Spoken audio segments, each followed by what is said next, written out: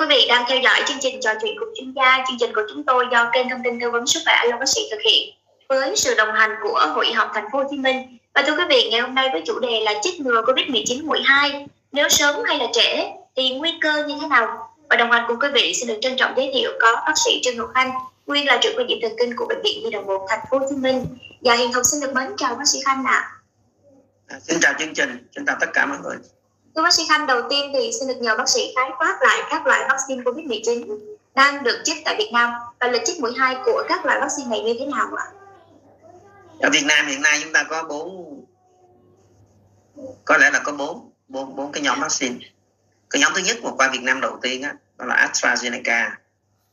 Đây là một cái loại vaccine mà nó thuộc cái công nghệ là vector virus. À, có nghĩa là ta đưa vào trong cơ thể mình á, mỗi con virus mà nó đã không còn sinh sôi này nở nữa. Nhưng nó có mang một cái đoạn ADN để sản xuất ra. Nhờ cái cơ thể mình sản xuất ra cái protein gai của cái con uh, covid 19 à, rồi sau đó cơ thể mình sẽ tạo ra kháng thể. Cái nhóm thứ hai qua thứ hai đó là Pfizer và Moderna. Hai công nghệ này hoàn toàn giống nhau.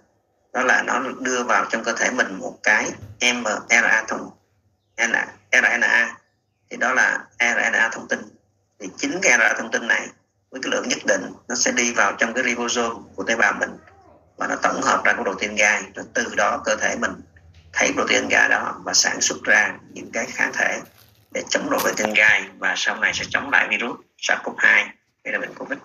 Nhóm thứ ba là nhóm bất hoạt đó là cái vaccine Veracell à, được à, cấy trên cái tế bào vero virus cái tế bào vero sau đó đi bất hoạt và đưa vào cơ thể của mình đó là bốn cái nhóm vaccine mà chúng ta được biết. Dạ thưa bác sĩ Khanh hiện nay có một tình trạng là một số trường hợp là người dân được nhiều nơi gọi đi chích ngừa. Ví dụ như là nếu như mà chúng ta đã chích ngừa cùng với công ty mũi một rồi và bây giờ thì người dân được địa phương cũng gọi đi chích ngừa. Mặc dù là chưa đến thời điểm để tiêm mũi hai thế nhưng mà họ có một suy nghĩ là tranh thủ đi à, có cơ hội thì chích ngừa sớm luôn để hoàn thành được mũi hai. Theo bác sĩ khanh thì à, điều này có gây ảnh hưởng như thế nào đến sức khỏe khi chúng ta coi trên cái lịch đó, cái lịch khoảng cách tiêm chủng giữa hai mũi vaccine đó, chúng ta phải coi thật là kỹ. Nó thật là kỹ. Và chúng ta phải coi là cái cái thời gian tối thiểu có thể chích ngừa được là như thế nào. Và thời gian tối đa có thể chích ngừa được là như thế nào.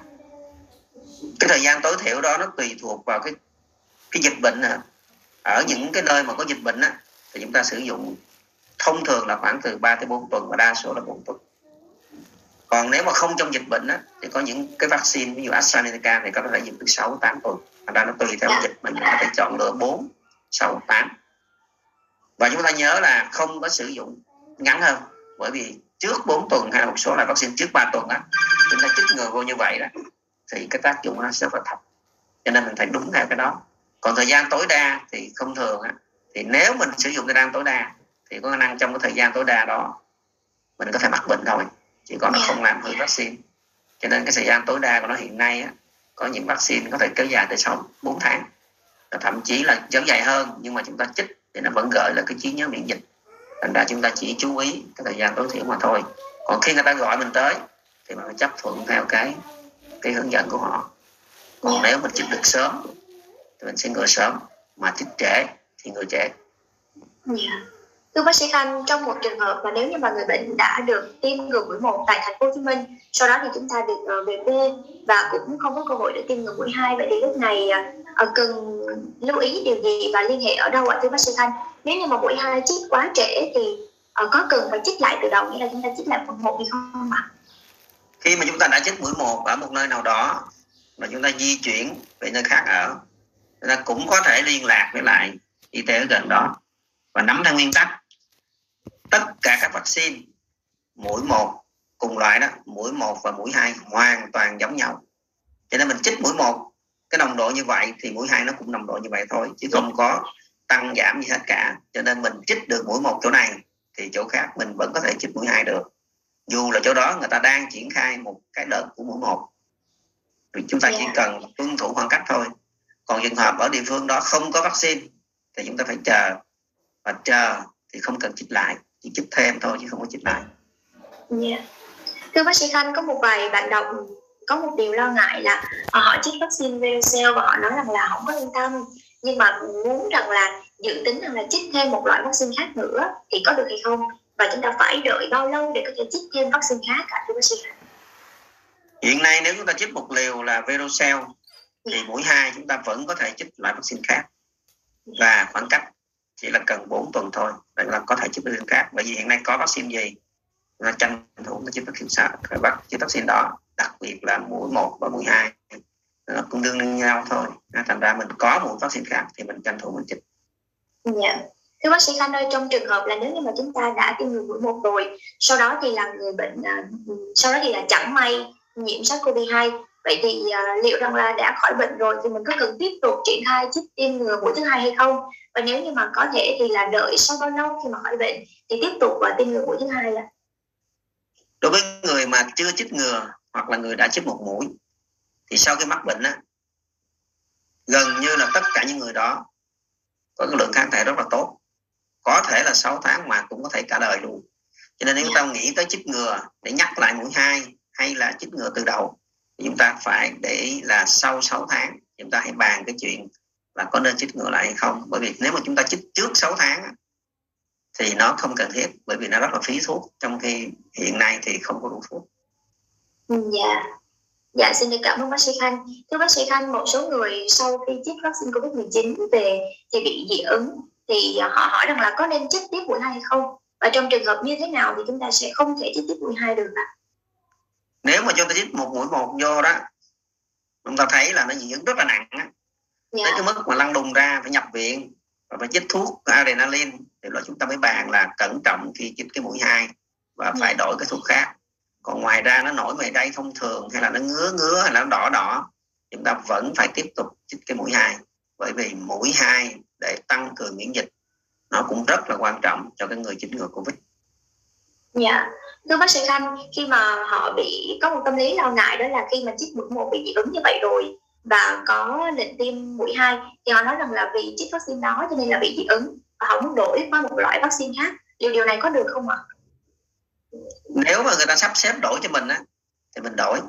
Tất dạ. cả những cái này nó đều theo phụ thuộc theo cái hướng dẫn của cái người ờ, khám sàng lọc tiêm chủng hay người ta đánh giá xem mình cái mức độ dị ứng đó không có quan trọng gì cả thì người ta sẽ tiếp tục chích cái vaccine đó. Còn nếu mà người ta cảm thấy là cần phải đổi thì người ta sẽ đổi cho mình. Thành ra mình phụ thuộc đúng vào cái hướng dẫn của cái người tiêm chủng của mũi thứ hai. Dạ. Yeah. thưa bác sĩ khanh con cũng có một vài bạn đọc gửi câu hỏi về cho alo bác sĩ với một câu hỏi rằng là uh, họ là phụ nữ và đã chích vaccine covid 19 mũi một rồi sau đó thì uh, có thai. Thì liệu rằng là có nên chích mũi hai tiếp hay không nếu như đến lịch? Và nếu không thì chích mũi hai này là bỏ luôn hay là đợi đến khi nào sau sinh sẽ chích được ạ thưa bác sĩ Thành? chúng ta nhớ là nếu mà mình chích xong mà mình có thai yeah. Dạ. thì hoàn toàn không sợ lo lắng gì cả chúng ta tiếp tục giữ cái thai đó và cho tới sinh ra và tiếp tục đến hẹn chúng ta tiếp tục chích mũi hai chúng ta không có cần thiết phải thay đổi lịch chích và cũng không có cần thiết phải can thiệp dù là mình chích xong mà mình biết có thai bởi vì có thai người ta vẫn chích thì chích xong có thai nó cũng là bình thường. Dạ. Yeah. Thưa bác sĩ Khanh, bạn đọc cũng hỏi rằng là tôi mới tiêm ngừa viêm gan B chưa có được 10 ngày nữa và có là chích ngừa Covid-19 thì à, có nên trì hoãn hay không ạ thưa bác sĩ? Chúng ta biết hiện nay đó cái cơ hội chích ngừa của Covid nó rất là quan trọng. Yeah. Cho nên có chích cái gì đi nữa thì chúng ta vẫn có thể chích Covid-19 được. Bởi vì nếu chúng ta không chích thì chúng ta có khả năng mắc bệnh nhưng khi chúng ta chọn lựa à, chích cái này và chích cái kia thì chúng ta nên ưu tiên chích covid 19 trước rồi sau đó hãy chích những cái vaccine khác. Dạ. Thưa bác sĩ khanh bạn đọc cũng hỏi rằng là ờ, tôi là một người khuyết tật và ngồi xe lăn bị mất cánh tay trái. Tôi nghe nhiều người nói là chích ngừa covid 19 ngày thứ hai thì đau tay dữ lắm. Và tôi lo là chích ngừa bên tay phải xong thì sẽ bị đau tay tôi chỉ có tay phải để đẩy bánh xe lăn thôi. Vì như vậy thì tôi có thể chích ở chỗ nào khác trên cơ thể của mình không ạ? Thông thường á thì chích ngừa cái loại này đó thì người ta khuyên là chích vào cái cơ delta à, dạ. mà chúng ta đừng có lo lắng lắm. Nó đau tới cái mức mà không vận động được tay. Tất cả mọi người chích ngừa chưa có cái người nào mà đau tới mức không vận động được tay. Và thậm chí người ta còn khuyên là sau khi mình chích ngừa mình vận động nhẹ nhẹ cái bàn tay đó nó sẽ giảm đau nhiều hơn. Thành ra mình có thể chích ở cơ delta nhưng cũng có thể chích ở đùi được mặt trước đùi được Dạ, xin được cảm ơn bác sĩ Khanh. Một câu hỏi tiếp theo là bạn đọc hỏi rằng là tôi là F1 và người nhà của tôi là F0 đã đi điều trị ở bệnh viện. Tôi có triệu chứng COVID-19 rõ ràng lắm là thưa bác sĩ Khanh.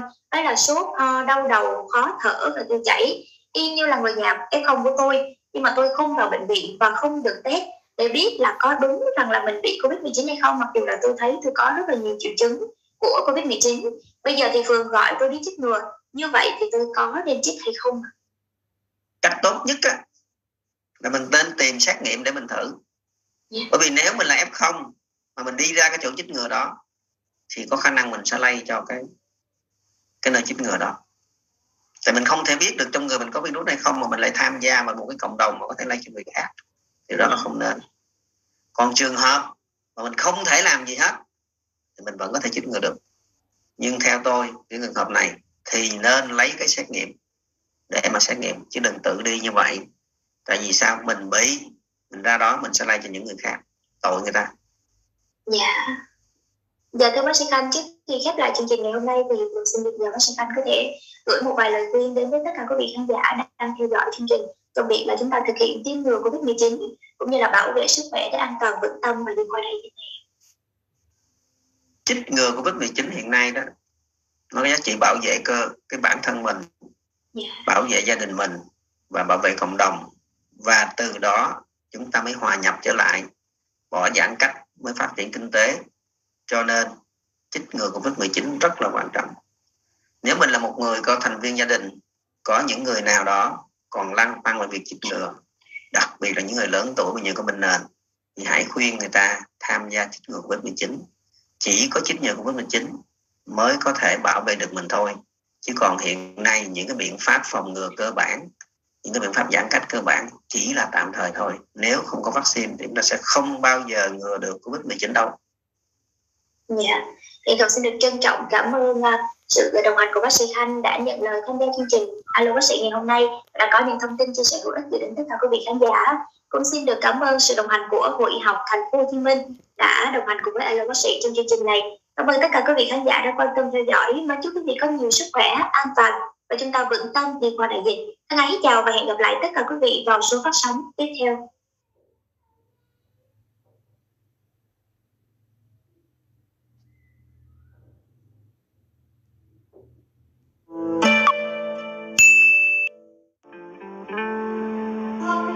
Trình Sở Y tế gửi Ủy ban nhân dân thành phố Hồ Chí Minh vào ngày 8 tháng 9 về việc ban hành kế hoạch phòng chống dịch COVID-19 giai đoạn sau 15 tháng 9, Sở Y tế dự kiến đưa ra một số điều kiện để người dân được cấp thẻ xanh COVID-19.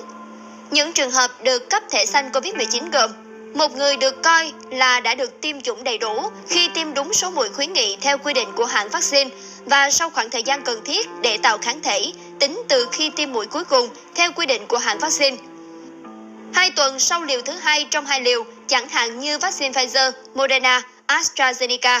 Hai tuần sau khi tiêm vaccine một liều, chẳng hạn như vaccine Janssen của Johnson Johnson. Người nhiễm SARS-CoV-2 trong vòng 6 tháng. Sở Y tế thành phố Hồ Chí Minh cũng chia ra các hoạt động được phép thực hiện theo từng nhóm trường hợp trong điều kiện thành phố Hồ Chí Minh thực hiện chỉ thị 15 hoặc chỉ thị 16. Trong điều kiện thực hiện chỉ thị 15, sẽ dành cho hai người tiêm đủ hai mũi, F0 khỏi bệnh dưới 65 tuổi, không bệnh nền, được đến tham gia các hoạt động thiết yếu và không thiết yếu tại nơi công cộng, gồm ngoài trời và trong nhà, được đi học, đi làm, đi du lịch hoặc đi công tác ở các tỉnh thành, nước ngoài. Đối với người tiêm đầy đủ hai mũi, F0 khỏi bệnh trên 65 tuổi, có bệnh nền, suy giảm miễn dịch, người chỉ tiêm một mũi vaccine đối với vaccine có liệu trình hai mũi, được đến hoặc tham gia các hoạt động tại nơi công cộng, ngoài trời, được đi học, đi làm nhưng cần bố trí công việc hạn chế tiếp xúc nhiều người, có thể đi du lịch, đi công tác nội địa nhưng cần tuân thủ 5K nghiêm ngặt, giữ khoảng cách tối thiểu 2 mét khi tiếp xúc trực tiếp. Trong điều kiện thực hiện chỉ thị 16, người tiêm đủ 2 mũi, F0 khỏi bệnh dưới 65 tuổi, không bệnh nền, được đến tham gia các hoạt động thiết yếu và không thiết yếu tại nơi công cộng như siêu thị, bệnh viện, phòng khám, được đi học, đi làm hoặc đi công tác nội địa. Đối với người tiêm đầy đủ 2 mũi, F0 khỏi bệnh trên 65 tuổi, có bệnh nền, suy giảm miễn dịch, người chỉ tiêm một mũi vaccine đối với vaccine có liệu trình hai mũi, hạn chế đến tham gia các hoạt động thiết yếu và không thiết yếu tại nơi công cộng, được đi học, đi làm nhưng cần bố trí công việc hạn chế tiếp xúc nhiều người, cần tuân thủ 5K nghiêm ngặt, giữ khoảng cách tối thiểu 2 mét khi tiếp xúc trực tiếp. Theo Sở Y tế Thành phố Hồ Chí Minh, sau ngày 15 tháng 9, Thành phố Hồ Chí Minh sẽ từng bước nới lỏng các biện pháp cách ly xã hội dựa trên đánh giá mức độ nguy cơ, số liệu giám sát dịch tễ và khả năng đáp ứng của ngành y tế để phục hồi sản xuất, cung ứng dịch vụ thiết yếu, lưu thông hàng hóa. Sử dụng thẻ xanh COVID-19 sẽ cho phép người dân tham gia các hoạt động lao động sản xuất và sinh hoạt xã hội tùy theo mức độ kiểm soát dịch Báo Thanh niên sẽ tiếp tục cập nhật tình hình dịch bệnh COVID-19 trong các bản tin sau.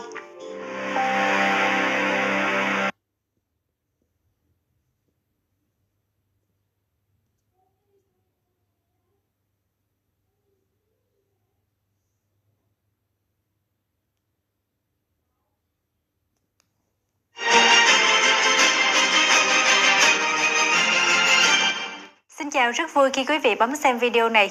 Đây là bản tin cập nhật từ Lê Cần News, trang tin tổng hợp Việt Nam và quốc tế. Bản tin hôm nay đem đến những nội dung chính sau đây. Vụ phát gạo nhưng ký nhận 1,5 triệu đồng ở Bình Tân, Ủy ban Nhân dân phường xin lỗi dân. Cặp vợ chồng tổ chức đánh bạc chứa súng đạn trong nhà. Hơn 1 triệu liều vaccine Sinopharm đã cạn, Bình Dương xin thêm 2 triệu liều.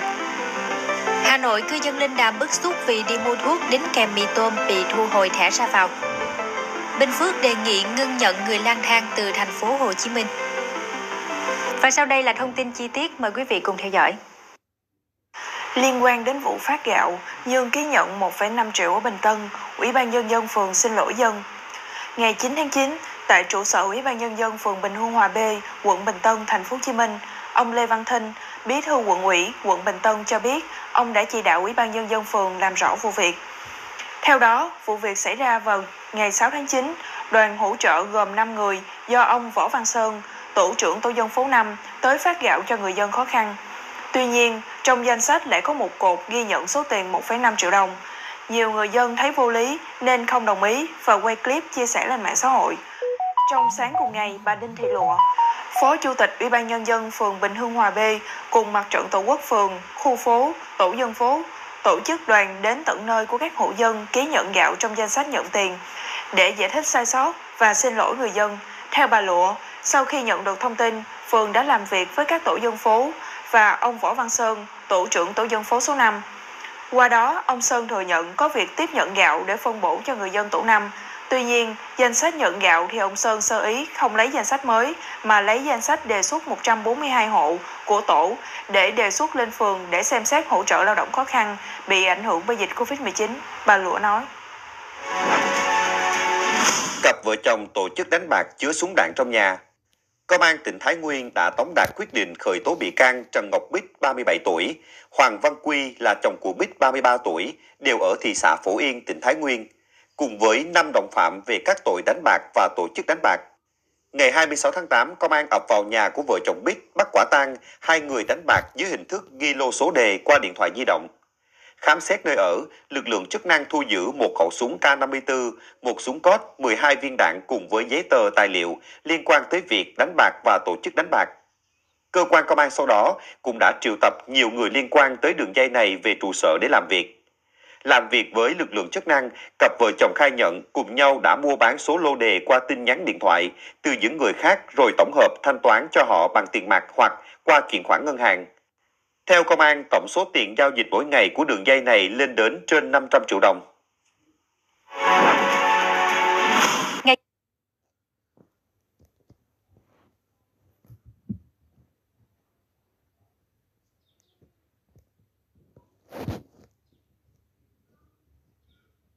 này đọc báo mà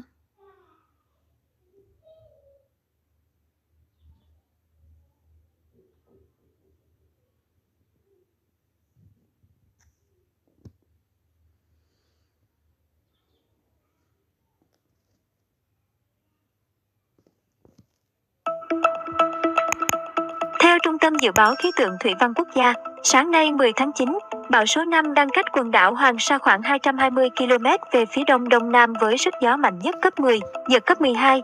Dự báo trong ngày và đêm ngày 10 tháng 9, bão di chuyển chủ yếu theo hướng Tây, mỗi giờ đi được khoảng 15 km và có khả năng mạnh thêm. Đến 4 giờ sáng 11 tháng 9, vị trí tâm bão ở ngay trên khu vực quần đảo Hoàng Sa. Trên đất liền, khu vực Tây Nguyên, Nam Bộ có mưa dông, tập trung vào chiều và tối, cục bộ có mưa vừa, mưa to, đề phòng lốc, xét, mưa đá, gió giật mạnh, nguy cơ cao xảy ra lũ quét, sạt lở đất tại khu vực vùng núi, ngập úng cục bộ tại các vùng trũng thấp ven sông.